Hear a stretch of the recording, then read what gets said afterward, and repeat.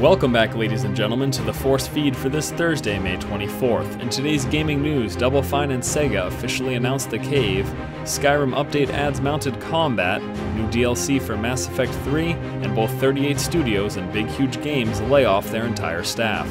Today, Double Fine and Sega officially announced The Cave, a side-scrolling multi-character adventure game. In the cave, you must select three of seven playable characters to travel with you as you make your way through the game. You will routinely encounter obstacles and puzzles that require you to switch control between your characters, using their unique abilities to complete the challenge. It is possible to complete the game with any combination of characters, but important to note that the game's ending will change depending on which you select.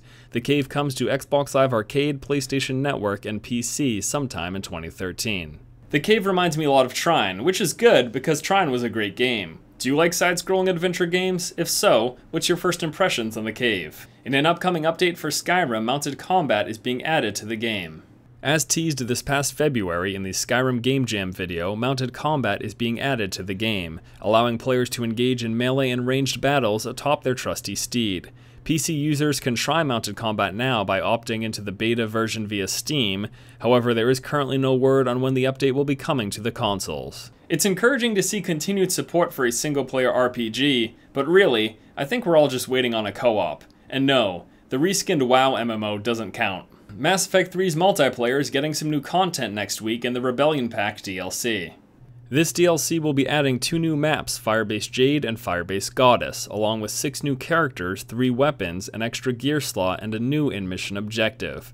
The Rebellion Pack is coming to Xbox Live, PSN, and PC on May 29th, and is free to anyone with an online pass. That means if you bought the game new, you're all set. I found Mass Effect 3's multiplayer to be quite enjoyable, and while this update isn't enough to bring me back to the game, it's good to know that when I do eventually go back, there'll be something new waiting for me. A handful of new screenshots for Project Copernicus, the Kingdoms of Amalur MMO, were released today, but you know what? It doesn't really matter, because both 38 Studios and Big Huge Games have laid off their entire staff. Today, WPRI got hold of an email 38 Studios sent to its entire workforce that read, The company is experiencing an economic downturn. To avoid further losses and possibility of retrenchment, the company has decided that a company-wide layoff is absolutely necessary. These layoffs are non-voluntary and non-disciplinary. This is your official layoff notice effective today. This appears to be the final blow in a month-long debacle that began with the company defaulting on a loan payment to Rhode Island. Although it's certainly possible that another company will pick up the Kingdoms of Amalur IP, it's pretty safe to say that this puts plans for the MMO and the Reckoning sequel on indefinite hold.